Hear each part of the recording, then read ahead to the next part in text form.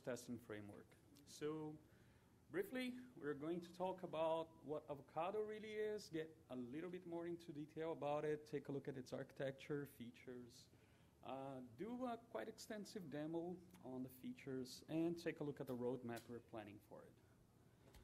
So, uh, first of all, a little bit of our team. So, as most of you know, we are on the virtualization team at Red Hat. Uh, we've been developing test tools for like the virt stack, mainly KVM and libvirt. Uh, we have maintained Autotest and virt-test for a while now.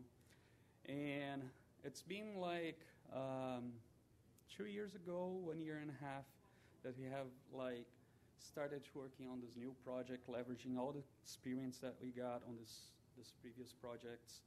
And what we are going to demo here, it's based on all that, that experience that we gathered uh, all this time.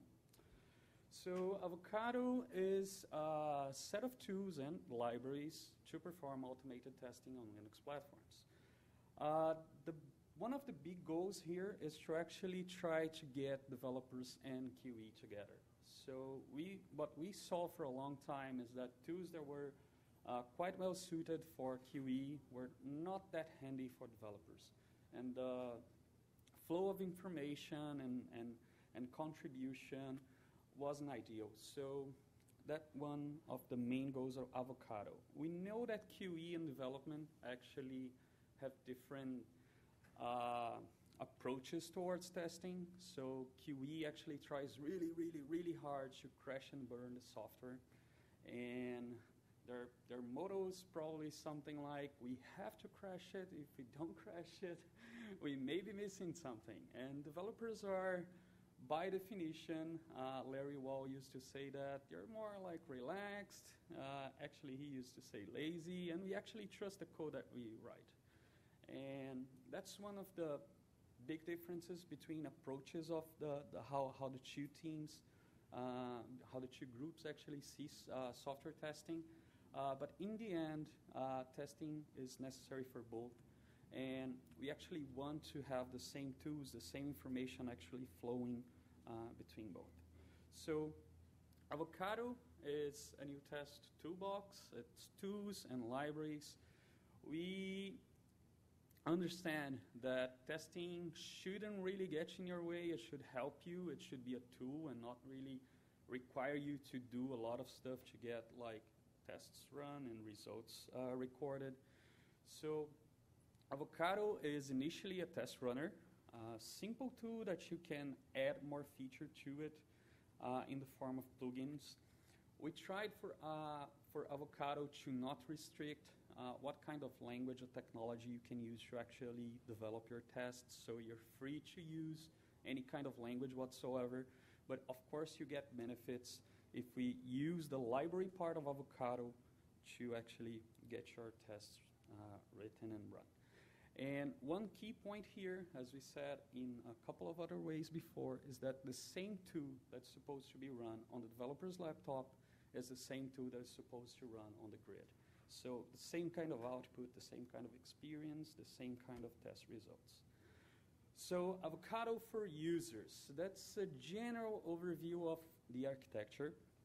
Uh, here we have a user that's interacting with the test runner. As I mentioned before, the test runner is extensible by means of plugins. Every single job that it's run actually has a unique SHA-1, and the goal here is to have unique jobs, so unique results, results that we can merge, that we can import, export, and we can actually uh, compare in a centralized fashion. So every single job can actually output results to different formats. And we have like built-in formats that are machinable readable like JSON and XUnit. Uh, and we have human readable formats like HTML, and the, the, the, the console output, and we can even, even send that, those results to a centralized result server. So Avocado for the test writer, of course, you're going to write your test that's going to be run by the previous big block here, that is the test runner. And you're actually writing this test to actually uh, play with a given application or, or a set of applications, a stack or something like that. So by writing a test, you have a couple of options. You can go with simple tests, and simple tests are simple tests that actually return zero for, for success and non-zero for failure. It's a very, very simple uh, agreement between Avocado and, and simple tests. Or you can go the other route and actually use the API that Avocado provides. You would have to conform to the API, but you get a lot more out of it. And a lot more out of it uh, could mean that you get to use features like GDB to actually poke into the program that you're testing, uh, wrappers to get any execution of these programs uh, that you're testing with different uh, uh, programs, say perf, say any kind of uh, intermediary program that you want to have your program run under. So this is a general overview of what Avocado is for test writers. So one of the things that we have learned in the past, and we've seen that the, the, the whole uh, testing test uh, test toolbox actually requires it's a way to describe these large matrices of tests. Uh, in virtualization itself, we actually get to deal with so many variations of so many different items. We could briefly say we have so many disk formats, we have so many NICs, uh, NIC types, we have many guests and host OSs, and at the end, we probably want to test as much as it makes sense. And what we had in the past in Autotest in the form of the Cartesian config file was something that helped us a lot. QE gets a lot out of it. Uh, but we, we believe we could go a little bit further and actually uh, improve on that. So the multiplexer is a way to create those large test matrices. It is YAML based. It is very, very easy to describe. And it it's actually kind of powerful because you can, within uh, the, the, the YAML file, which has a tree representation at the end, you can actually limit the scope and actually filter parts that don't make sense. So uh, let's suppose things like Virtio SCSI doesn't make sense with a given OS guest. You know how in, where in the tree one thing is, where in the tree the other thing is, and can actually say that this thing actually doesn't go with the other. So it's a very easy way to actually express those matrices. Uh, this is a very simple uh, and kind of real world lunch example uh, for the multiplexer. On the left, on the right hand side, your left hand side, we have a list of bread, topping, and filling with two choices for each. And at the end, we have what the multiplexer generates. So you have every single possible kind of sandwich that you can make out of those ingredients. And this is, a, again, a very, very simple example. Uh, a more complex and close to the real world example is uh, actually something like this. It actually, I'm not sure if it's readable, um, but this actually shows a, uh, a virtualization testing like example. So we have a 73 line YAML file that describes two different environments, production and debug. It has like two different kernel configurations uh, and a couple of guest OSs. At the end, this, this column on the middle is a tree representation of what we define in the YAML file, and it actually generates uh, 1,400,000 variants plus. So it's a really concise way of describing and actually visualizing and actually generating all the test matrix that you probably want to test. So uh, without taking too long, let's get to the more interesting part, which is actually getting uh, Avocado uh, working. Um, since we are at the KVM forum, uh, we thought about a kind of close to real world scenario. And um, let's, let's imagine that we're working on a QEMU feature that actually uh, touches three different targets. Let's say x86-64, uh, i686, the 32-bit Intel, and ARM. So if, you, if you're working on your uh, source QEMU, like I hold my code, and you're working on a feature that touches these three architectures, these three targets, you probably want to make sure that your code, first of all, it builds.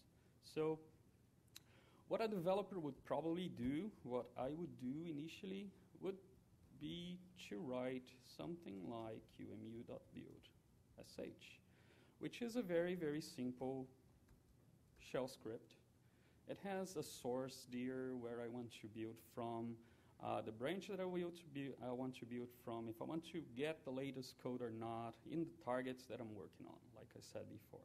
So I optionally pull from the latest, uh, from, from my origin, and I go for each one of the targets, I run configure and make. So this should actually get me uh, the three architectures, the three targets built that I'm working on. And if something goes wrong, then I'll probably notice it. And Avocado was actually designed to run any kind of executable, including shell scripts, including um, binaries written and compiled out of any language whatsoever. So what we could do with this shell script, which I'm not going to do because we don't want to wait all that time, is to actually run anything. And running anything means running, say, slash bin slash true.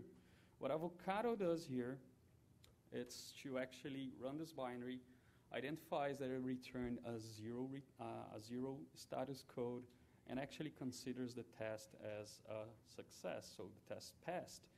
If the same, if another binary is a test that it's just similar to it and executable, actually returns something different than that, then we have a failure. So the shell script, if it returned any error code that was different from zero, would get a failure. So uh, you may be thinking, all right, I could run the shell script by, by myself, so why would I actually want to wrap everything in Avocado? And what we believe here is that actually running tests, if you consider your build test a test, uh, without actually uh, to actually help you out, it's probably something like writing code without version control.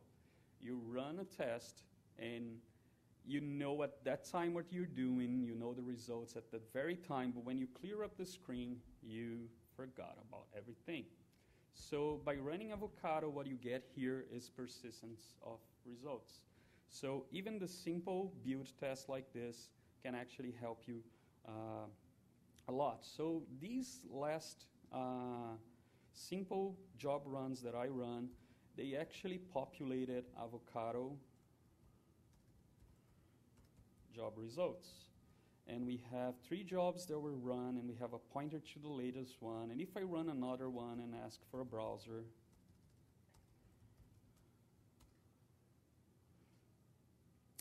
I'll get a browser with the results. And these results are persisted. Uh, as I said before, they include human readable results and they also include machinable readable results. And with machinable readable results, we have a couple of options. We can output, say, to unit. I'm asking it to actually output that on the command line, on the on the standard output, and I could ask for uh, other formats to actually go to the, in the same direction. So uh, the, the, the, main thing here about using Avocado is that you get persistence of result. You could probably ask a month from now if uh, a month ago that given commit actually compile on your system on a given version of GCC. Because one of the things that you get for free with Avocado is the system information collection. So uh, this is this is all collected for free. It's a configurable system, so you have a predefined set of information. So this is the CPU info uh, taken out of proc. You have uh, the, df command, dmesg, and a whole bunch of them.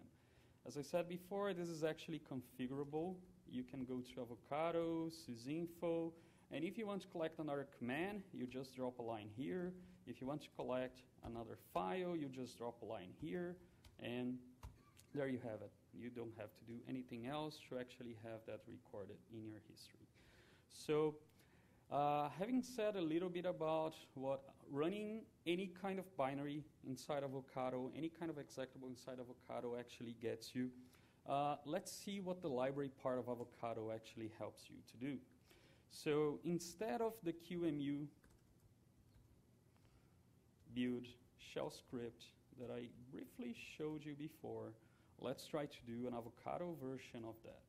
So we have avocado version as QEMU build.py, and let's go briefly through this code. So the code is intended to be simple.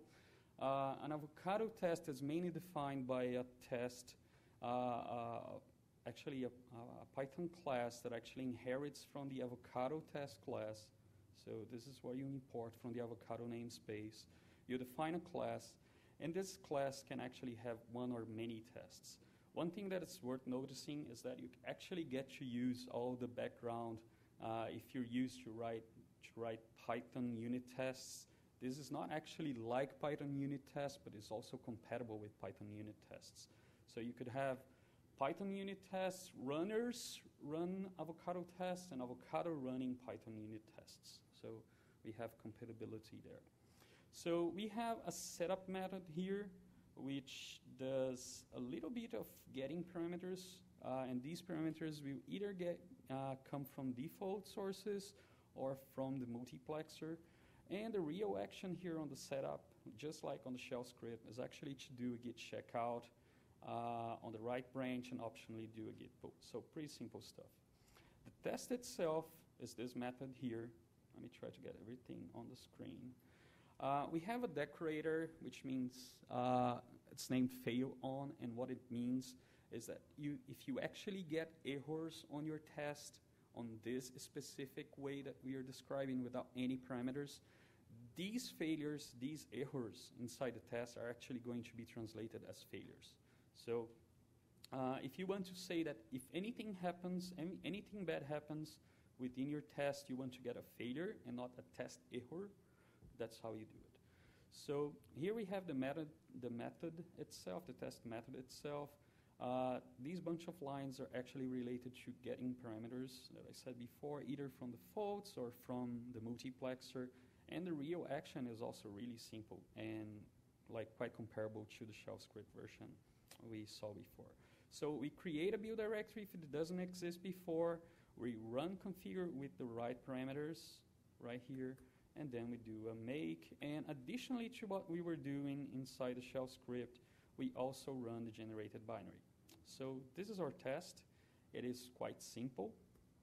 And it actually helps us to go a little bit further than the first version. So let's just think that right now we have decided that we have a plan.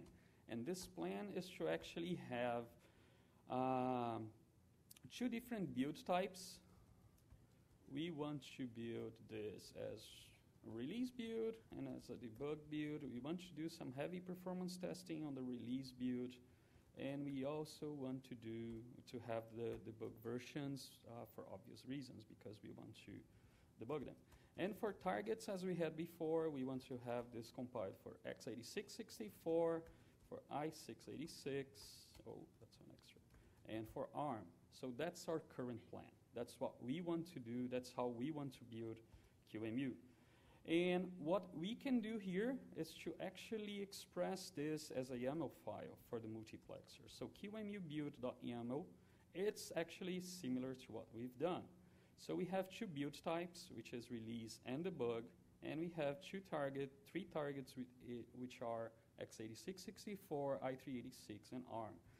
Out of this YAML file, what we can see with Avocado is actually take a look at the tree version that we get from here. So build type and targets, this is actually really similar to what we were planning to do, so we kind of achieved what we were planning. And we can take a look at what each part of the tree actually contains. So, so for build type release, we are actually using Ccache to speed up the build, and for the debug, we're actually doing enable debug. And for the targets, we have uh, the individual target names. So if we want to see what actually comes out of this, we have six variants. So six variants generated with everything that we planned. So what can we do here? We can run the QEMU build test and just say that we want to multiplex that using QEMU build.yaml. What we get out of this is six tests. Uh, let's just stay you in the latest avocado log and see what's going on. So it's now on the second build, so I'm using Ccache. There was a previous build, so things should be like really, really uh, fast. So we have the first three release builds almost done, and we're actually heading now to the debug builds. So you can see briefly here, oh, it's gone. An enable debug, so these are the debug builds that are actually being built. So this is how you can get a simple test, a very simple test written in uh, the Avocado API to actually uh, increase your coverage of testing. So uh, this is one thing. So Avocado was able to run what we call simple tests, just, te just tests that return either zero or non-zero as result values, and we were able to run native tests with multiplexer to increase the scope of coverage. But we also know that uh, in most software projects, tests actually spurs out of the creativity of developers. So, uh, and actually to suit the necessity, the needs of the project itself. And that is kind of true uh, in virtually every project and very, very true in QEMU. So if we take a look, uh, briefly look at what QEMU has to offer in the test directory alone, there is a whole bunch of stuff. So let's take a look, for instance, at QEMU IO tests. These guys are kind of funny. They're really interesting. And we have here a bunch of tests that actually look like shell scripts. Let's take a look at 001. Uh, it is shell-based, but it actually has a, uh, some, some extra requirements. So you cannot run 001 or 2 or 121 or 135, any of those tests by themselves, but you actually have to use check to run them. And the extra thing is that check, it doesn't, it doesn't, it cannot run from the source directory. So it needs to be run from the build directory. So here's our QEMU tree. Here is the build directory that our test actually created. Here we see that it created the bug and release versions for each of the targets that we were talking about. And now we want to run, let's say, the release version of x86-64. Uh, let's get to QM, QEMU-IO tests from there. And now we have check here. And check can actually run and pass on this, on this, on this one example here. And that actually gets us back to the first example, which was the shell version of the, the, the, QI, the, the QEMU build test, which is okay, that's nice, it runs, but I'll, I'll forget about it. Once I clean the screen, it's gone. I'm not sure what I used, where I was, but well, I remember, I vaguely remember that passed. So what we want here is to actually help you guys to concentrate all the test results and we want Avocado to be able to actually run those tests and persist result, these results so they can actually be kept, exchanged, looked up in the future, um, merged to a central database server, and so on. So what we can do here, it's ask Avocado, let's get back to Avocado, and say, Avocado, please run test 001, 002, and 003. But to run this thing, you actually need an extra tool, and we call this thing inner runner. So check is the actually guy is the actual guy that's going to run the, the, the test. So this inner runner is located in QEMU build. Uh, let's take the release version, x86-64, test, QEMU IO test, check. In this runner, it actually needs to be run from its own directory. So we are going to actually change the directory to where check is because that's the only way check actually works. And we're going to run test 1, 2, and 3. And when we do this, it actually runs them.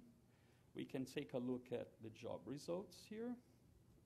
In, let's take a look in the HTML format. And we have test 1, 2, and 3. We can take a look at what happened. Let's take a look at the book log. Come on you want to open Emacs for that. Okay, but anyway, the result is collected and we had three passes. So everything, the human readable the results, the machine readable results, they're all there, just like uh, very, very simple tests. Uh, any questions so far before we move a little bit further? In the previous example, you had variant 1, variant 2, variant 3. Why? The names, because the names can get really, really long, and there's no magical way yet of actually naming them. Yeah, we discussed a lot about that, and uh, we, we didn't get to an agreement of the best way to represent the variant. Well, actually, the, the agreement is that we would only print the variant 1, variant 2, because uh, it's not really clear what the best behavior should be, so we're going with this. Yeah. At the very at the very least, you get to actually see the variant uh, uh, expansion on the logs, so you know which variant number actually means. You know, so you would get something like avocado, multiplex, and The reason I ask is that usually what I have is I run uh, tests like installation tests for install virtual machines and each install takes like 10 or 20 minutes. So while Mhm. it's running, if I see that Windows XP installation phase, I start debugging immediately. uh-huh. So I have like a window in the background that every now and then I test it, if I see something red, I immediately start debugging when it's not supposed to fail. Uh-huh. And uh, so it- We know. to have, it is, and do not have an extra step. like I know. You get the logs and see. I know, I know. We know that this is a current kind of uh, limitation that we have, but uh, like we said, we didn't reach an agreement on how to name them. So this is the current state of things, but we, we do want to. Be perfect. I mean, doesn't have to uniquely identify the variant. Just to be something that the You can relate to. because the user knows what variants roughly was they were having. hmm So for me, even just knowing that it's a Windows payload and not a RAS payload is already different. Okay. How do you, like, like, what, how do you know what's interesting to you? Because uh, you have memory, uh, different variants of uh, OS, uh, different variants of hardware, and then you put everything into the line, it becomes really Well, for example, all of them, uh, all, well, actually the latest version of your test has some pretty Yeah, there are variables, uh, There are names, some and I don't have any problem with those. They are like 100 or 120 variants long. I can uh, visually identify in the line the parts that are all the same and the parts that are different. Yeah. So, Now you This Yeah. current approach is that, that you have uh, avocado multiplex, which, which prints you the variants and you can mount the variants to, to, uh, to Right, right, but we didn't. we didn't Yeah, what- The extra step. Yeah. But, yeah. And we are. long. I just like to have something that I can visually. I know. And we, we have actually discussed uh, uh, some options. One of them is actually to be able to name them like magically, or if the user can somehow tag how he wants the variant to be named. Minus variables that prints the huge. Uh, Yeah. Right, right. Because I mean, I'm a human, so I can spot a W for Windows and then Uh-huh. uh, Right, right. even Yeah. if it's very long. Yeah, that's definitely something we will be working on. So it's a known, it's a known. Uh, Limitation. Uh-huh. And have all like the complete path. Yeah, makes sense. Thanks. So um, having run a QEMU IO test out of the QEMU build tree that we have just compiled, uh, let's see what else we can do. Uh, let's take a look at a simple QEMU uh, based test, a QEMU IMG based test, and see how it how, how Avocado can help with that. So this is another example of a very simple test. It still uses the same uh, test class from the Avocado namespace and still uses the same fail on. It just goes into a little bit more detail about the where it, it should actually consider a, uh, a test error a failure. So if any of process run actually raises command error, this is actually going to be considered a test failure. If anything else happens, like any other exceptions raised, it's going to be considered a test error. So Avocado wants you to be assertive on what you're testing and be precise and be able to tell that something was a failure from the program that you're actually testing or no, it could be something that actually uh, it's broken on your test or in your test infrastructure or something like that. So here we have the test method itself. It actually refers to two images, two resources that the tests use, and these are good QCOW and bad QCOW. So we have two images and two ways to fail. So the first way to fail, just uh, saying it again, is if process run fails, uh, it's going to raise command error and it's going to result in the test failure. The other way is to be really assertive, just like Python unit test does. This actually comes from the unit test class and says that I want this to actually raise an exception. So bad should raise this command error exception. If it doesn't do this, it's a failure. So let's try to run this. Avocado run QEMU-IMG, and oh well, it passed, no major surprises. But one nice thing about actually having Avocado relate to the resources that you actually use during a test is that Avocado can do things like running tests on remote machines. And by knowing that kind of thing, let me fire up the machine that I need. Oh, it's already running. So by knowing that kind of stuff, I can do avocado run qemu-img.py. I want to run this on a domain called KVM Forum Fedora 22, and the VM host name it's KVM Forum Fedora 22 local. And when I do this, it's actually being run on the remote system. Yeah. And we can take a look at the logs, see what actually happened. So you see there is a canonical name here that is different from the origin because the test was actually copied over to the other machine.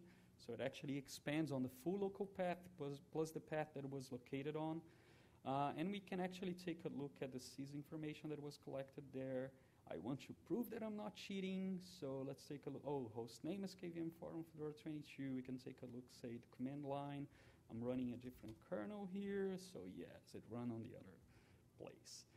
And things can go a little bit more interesting. Let's imagine that you're running tests that are kind of dangerous. So let's say we want to run them as root, and a VM is probably the best place to do that. And if everything is set up properly, this will actually run as root on a VM. But it can also damage the VM. So why don't we do? Do you have SSH keys? Yes. Yeah. So Um, Yeah. I have two questions about this. Yeah. One question is, uh, hold up here now. So, first, you're running the test on a VM, right? Yes, And, um, it's on a libvirt defined VM that has Avocado pre-installed and it has either SSH key or it's going to ask you for a password. okay, so I have to set up Avocado and an SSH keys on each VM where I want to. Yes. Where I want to run the test? Yes. right? And does Avocado takes care of, like, starting up the VM it's not running? It does. It actually does. I could actually shut down the VM here. So let's do this. Uh, system, shutdown KVM Forum, Fedora 22. What we actually did not actually come to, kind of come to an agreement is uh, that actually sometimes uh, a VM can actually take longer or more time to boot. We have a very short timeout here. So if I do this, it's probably going to fail the first time. Yes, it did. Because the machine is booting. Let's see the second time. Yeah, so now it's running. Uh, the timeout, it's actually now uh, currently hard coded, but it would be like pretty trivial to actually make it optional. That's scripts to run as it, they are, you know, Uh huh. not good like this, and, uh, yeah, uh, you did come with a solution to detect when the, because it's not that the It's VM. not trivial. It's not trivial to detect when a machine is fully booted up. I, I mean, No, you want, generically. what you want to know is users. It's surprisingly they hard to have do that. An SSH one, right? That, that's I want to know. Mm-hmm.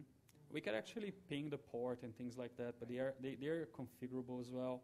I mean, this is a feature that can like em- like everything in Avocado can get the nice little touches in it. But Would be surprised how hard it is to. Doesn't require the to have, for example, a console. no, it doesn't. It's uh, Otherwise, it would be easier to find out. yeah, yeah. And this feature actually uh, it it actually uh, came from uh, a feature that is remote host. So you could have something that is not okay, VM forum Fedora 22 remote user and oh, I don't need this. So it could be any kind of machine. It doesn't need to be a virtual machine. It can be a remote machine. So that's why we kind of, since we inherited the functionality from the other one, we don't know if that machine actually needs to boot up or is it running, is it not? So we had a shorter timeout. But it's easy to actually make it configurable. Functionality allows us to do things like like Yeah, so like, so like I was saying, suppose you're running, have a question, Gary? Yes, I have a question when it comes to the virtual machines. Uh, do you have thought about supporting cloud images? Yes, yes, Because that would be an easy way to Yes. get this, this Sure. into the virtual machine and more or less autom- Sure. more of this. Sure, that is planned. We want to be really, really flexible on, on what Avocado can run as a test and where it can actually run it. So, For that call, uh, in February, Lukash wrote a Docker plugin. Well, we, we never committed it to the main repo, uh, but it's trivial to write a Docker, uh, Docker plugin to do that sort of stuff. So in case you guys missed it, uh, it's actually quite easy. In the first slides, I show that Avocado is actually this kind of small test runner that is actually pluggable. If we take a look here at Avocado plugins, we get a sense of that. So these are the features. They look kind of core, but they actually implemented as plugins. So uh, the VM, the run on, the run test on a virtual machine is a plugin. The run remote is another plugin. So running uh, something on Docker on a cloud image or things like that could be done. Lukash actually wrote a Docker plugin. We didn't actually commit it uh, that, but could be done. So getting back to the virtual example, let's say we have to we, we have something kind of dangerous running as a test. Let's let's you know what? Let's make it dangerous. So let's do something like open, since I know this is uh, VDA, and I want to write some garbage to it. Okay. So let's run this and say VM, please clean up after you run it, and you're running as root. So what happens here is that the test runs, a snapshot was taken before the test was run, and the state was reverted. So I could run this like a million times, reboot the machine and everything, and your test should just run over there and get you back the state that you had before. I delete the snapshot. I take a snapshot, I run the test, and I delete the snapshot. So it's offline commit. Yeah. Like it, it, it's a cleanup, so Yeah. it means to be a Yeah, I mean, uh, it's not a live operation. Yeah. No, well, it is a live operation because uh, the VM is still running. Yeah, it actually can pause the VM and actually restore the state as well. The, the, the, not only the snapshot in disk, but also the state. Um, yeah, um, maybe I missed it in the beginning of the presentation. I want to know how flexible Avocado is. I'm, I'm running the DevOps team for oVirt. Mm-hmm. Uh, running on top of QEMU Okay. and uh, KVM. And we're, right now, we're developing a testing framework that uses libvirt with isolated uh, VMs for nested uh, host and a VM and iSCSI storage and an FS storage. Mm-hmm. And if it's, anything is, is uh, self-contained, and I wonder how, how easy it would be to use Avocado as like the external or the, the UI and all the great features that you have there, but using the SDK for oVirt rather than your, your classes that you wrote for QEMU uh, specific testing. Is that a plugin or? Oh, Uh, yeah, Well, yeah, we're probably talking about creating a plugin. We're going to go through the uh, what we call now Avocado VT, which is an extension to Avocado that does testing on the virt stack. And by me, by virt stack, I mean QEMU itself, libvirt. So the same kind of thing could be done with probably oVirt or GlusterFS or things this like is that. not virtualization Yeah. This is just using Running any any test. Like run Windows, tests. I mean, like, And we- Yeah. itself. It doesn't prepare the infrastructure the- No, the test itself does not. In this, in this case here, in this feature here, no. It's just a matter. We do actually. Uh, I actually showed one of the tests QEMU build. Uh, in the test itself, it has the setup. It can have a teardown. I actually don't have on this one, but they actually uh, inherit all this, even logic and compatibility from Python unit test test case class. But you can start, I mean, you can set up your environment and start using Avocado from the point you have everything running. Oh yeah. Uh, I'll actually give you a couple of options on how to use Avocado with existing tools. Uh, one of the things that Avocado can actually run, uh, can actually do, is let's say we have the same QEMU build test, and it was written, it was specifically written using the Avocado API. There's no way to run QEMU build without it. So we can actually, let me see if I, oh, QEMU build is too big. Let's do image. So if we import from Avocado this thing called, say that again? Oh yeah, a good one. I wouldn't be able to because I'm running as a regular user anyway. So, so let's say if name is main, we can do main, and when you I mean, yeah. So being of Python or Python itself, let's make this executable and we can run this just like this. And it's actually going to report either success or failure. So you could still leverage all the Avocado API and not use the Avocado test runner itself and actually get things working. That's one of the options. So, um, all right, let's see what else we have. Uh, was a bunch of interesting questions and interesting suggestions. So, okay, we have run things on the remote machine, and now we're going to pause and actually take a look at Avocado VT, which is not running tests on virtual machines, but actually running tests that test the actual Virt stack. So, uh, on the previous weeks, we actually had uh, some kind of major releases and major announcements uh, about Avocado VT. And we actually came to the point where we actually released Avocado VT in a very, very good shape. So what I'm doing here, uh, just to speed things up, I have one RPM, which is the latest released. I'm going to install this thing. It's hopefully not going to ask for yeah, no dependencies whatsoever. I get back as a regular user, and when I run Avocado plugins, I actually get quite useful error messages saying that these two guys here they cannot actually run. They're missing an environment. So Avocado VT, just like virt-test, it actually needs some kind of stuff to actually get started. That means a couple of Git repos downloaded, JeOS image that's actually going to be used by default by the tests, and a little bit more. So just to speed things up, I can actually cheat here. I have a bootstrap shortcut. We just copy stuff from a previous location, but we're still going to do the real thing, avocado VT bootstrap. Just going to take a little less time. So this process should be mostly uh, automatic. It could it would probably ask you if you want to download this image, which I copied so we wouldn't have to wait for the download. It's a 200 megabyte image.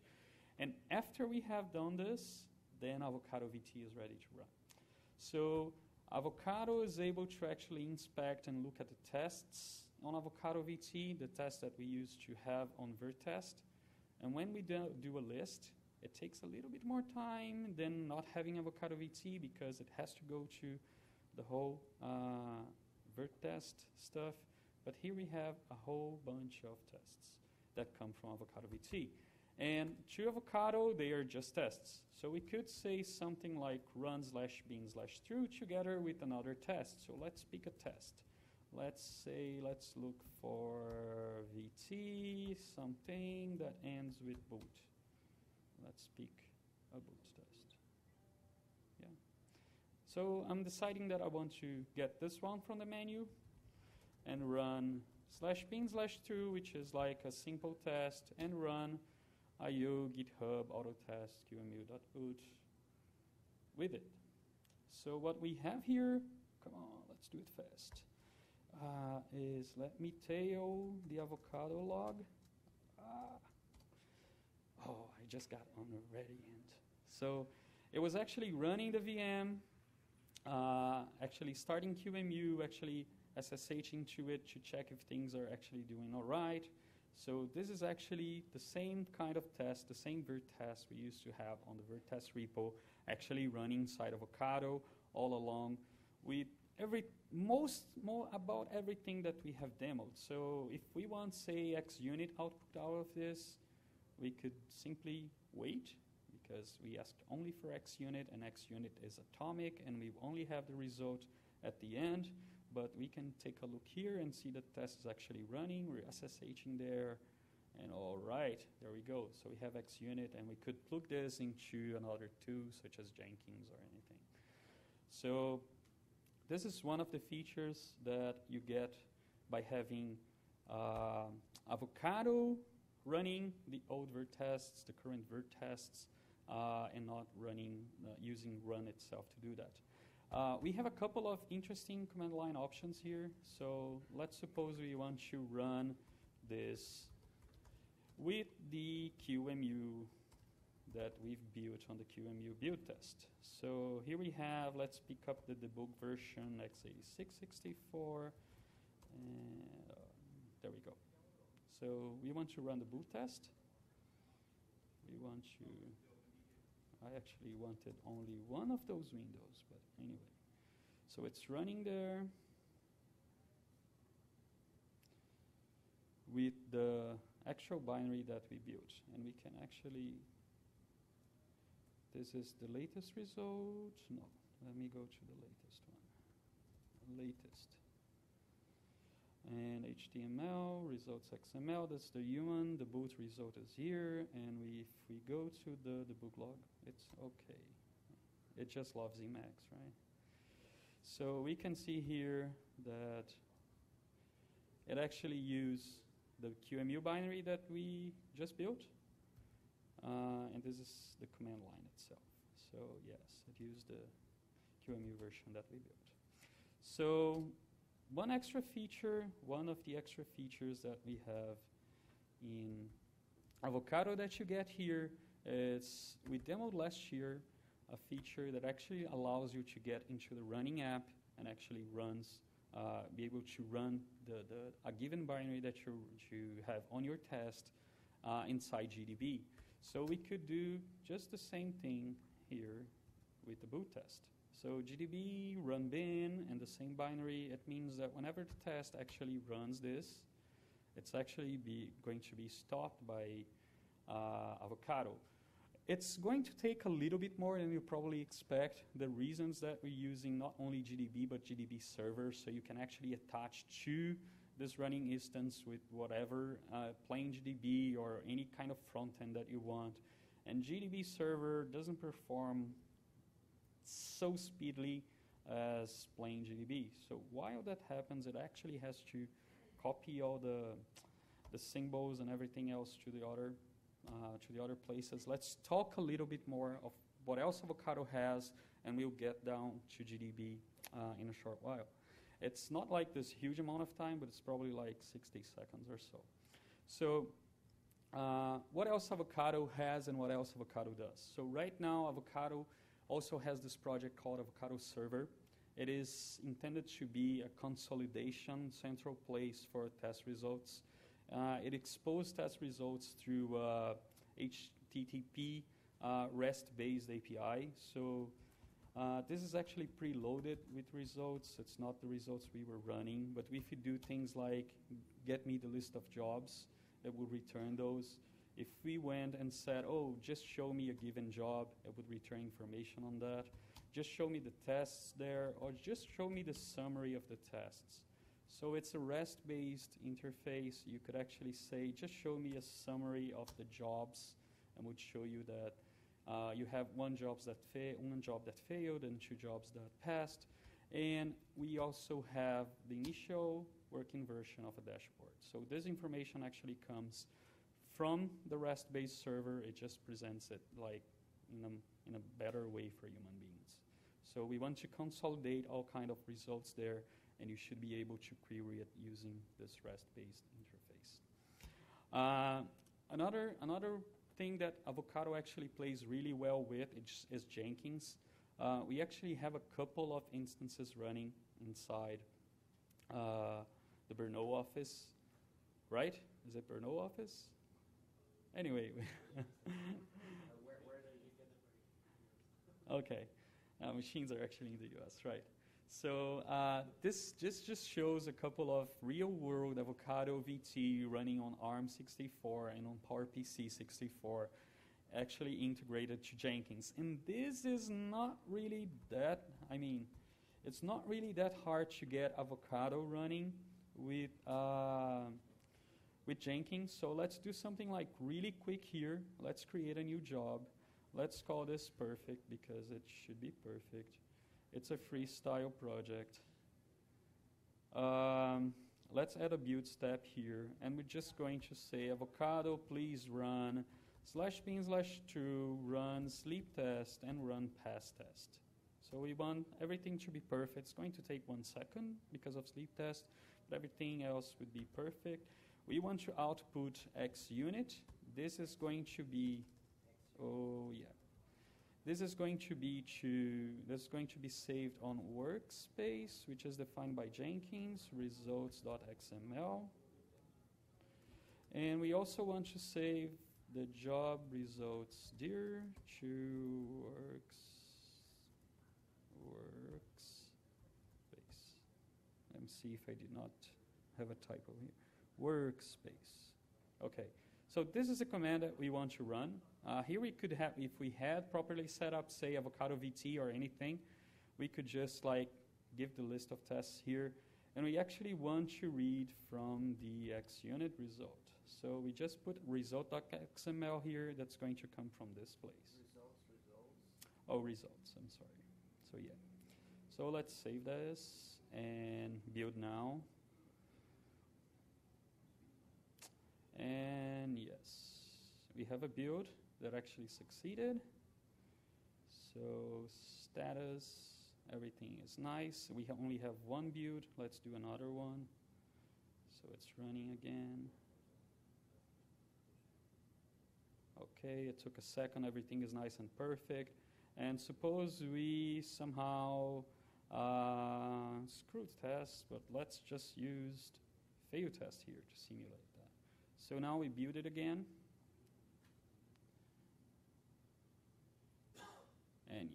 We start to get failures. So this is how this is how trivial and how easy it is to actually get anything that can run inside Avocado to actually uh, communicate with other systems such as Jenkins. So I promise you it did not take like five minutes to get here, but uh, let's just see what happened here. So we have Avocado still running here, and it's, it tells us that the test is paused because of the booger breakpoint. To debug your application, run this script. This script is no magic, it's just like utility. So we could take a look at it. It just runs GDB and asks GDB to run a couple of commands. And when we actually exit GDB, it tells Avocado to actually keep on going. So you could use uh, either GDB itself, your own version of GDB, your own front end, anything else. So we're just going to run the script, and when we run it, we are inside uh, QEMU itself. So we could try like two step we could try to make bad things, say set boot once equals dead beef. Okay, so we cannot access that memory, and that's expected. But anyway, we could do whatever we want here inside GDB and let the program actually keep on going. So here, the test is resuming, and you actually get to poke inside the binary that you're running inside uh, from within an avocado session. So we could expand this a little bit. Let's talk a little bit about what avocado is probably heading. Uh, we are obviously looking for external contributions. So if avocado actually looks anything like interesting to your use cases, uh, I want to stress that it's actually extendable, it's pluggable. So um, let's let's add more features to it.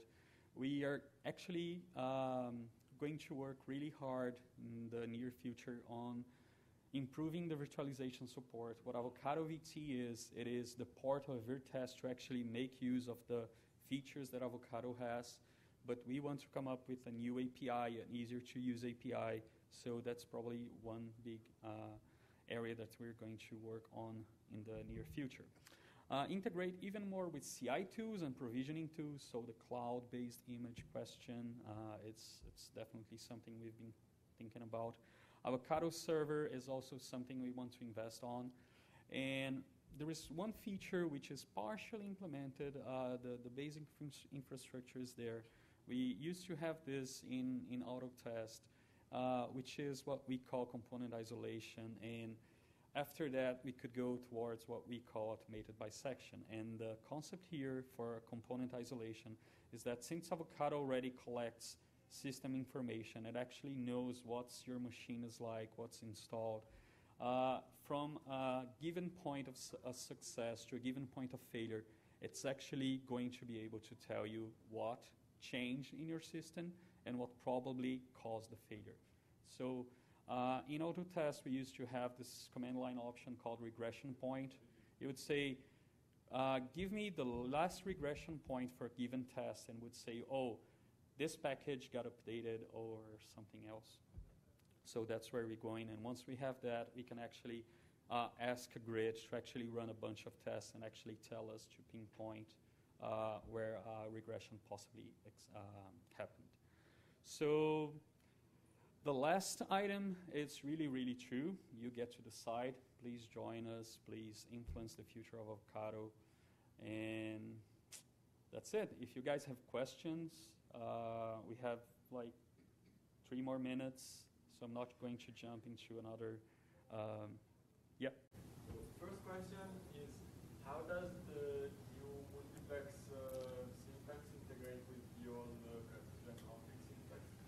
So okay. I used to use the virt-test runner with a very simple but nevertheless custom mm-hmm. uh, visual config that shows the, uh, keeping on the same example as before, uh, which uh, uh, how those those yeah, things actually play together, right? And then for Windows, I wanted to add enlightenment For Linux, uh, I made the mm-hmm. use both virtio and uh, 1000. So it was not hard, very, it was not really complicated stuff, but still it's custom. so how would that? So maybe maybe Lucas wants to answer that. He actually wrote something we called Frankenstein mode. It's not mandatory, but we call the Frankenstein mode, and you can you can pick one grid test and then write a multiplexer file and use that multiplexer file to multiplex that particular grid test. If that's what you want. Yeah, and if then uh, inside the test you can access uh, a different set of parameters uh, avocado special parameters that come from the multiplexer, and uh, you can make uh, you can make the changes in your test. It requires changes in the test in the test code, uh, but that was a way we thought it would be interesting. You know, so, to make the code. So just to make it clear, the old Cartesian config files are still there. Okay, like I still use only. Yeah, you can only you can still use only that. Okay. okay. yeah. Another uh, question, if I remember it, okay. If somebody else has a question, I will come back later because I forgot. No. Any other? Okay.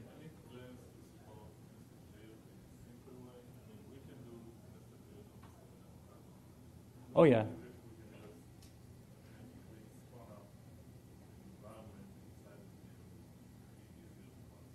Okay. That should work. Yeah, that's a good idea. Yeah. so the thing I didn't like and uh, modified with my own uh, branch or card in, the local copy of virt-test was that uh, it copied the JeOS image all the time. Uh, and uh, so I don't care if, uh, if there's some like to take the old patch and, and apply it uh, while using the, the avocado test runner. Is that possible? It was modification to the test. So basically, I was just commenting the lines that did the copy. Oh yeah, to use the no nodes. So you keep the you want to keep the image between tests. That's that's no. I just uh, 99% of the tests that I run are installed tests. So Okay. took care of what they're Okay. Okay. So I-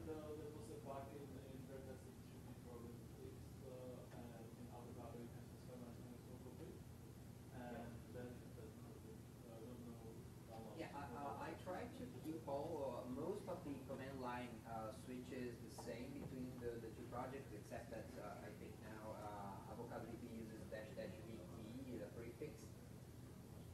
But of them should have been preserved. If for some reason you are missing something, just let us know and we can edit Uh, back. this was really just a local patch. So how hard would it be to work more that local patch? to test that? So yeah, there's, yes, if you So- use no downloads. I think Paolo is saying that you have a local patch for virt-test and you want to do the same thing to Avocado. Well, yeah, you could, you could you could use either Avocado from source tree that's supported, or You can send the Yeah. so- it not something I, but yeah, looking for the I mean in a system in a And, and uh, of course, we want to replace the copy functionality, the, the, the backup functionality. We, we can in a system-wide snapshots.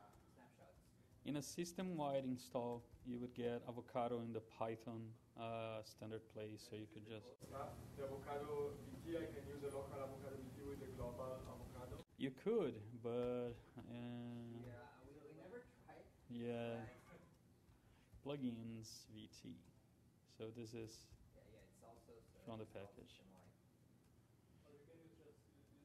you could patch it from here as well. And uh, for, for the patch is, uh, virt-test is uh, in the root. Uh, Ah, okay, so I can just use the build test. Uh, Yeah, uh, so uh, it's, it's the same place. So hopefully if if we didn't change too much lines, it should get publishable from from virt-test to uh, Okay. So I will play with uh, using uh, So local uh, avocado VT with the global avocado, like I did with uh, with Autotest uh, and local build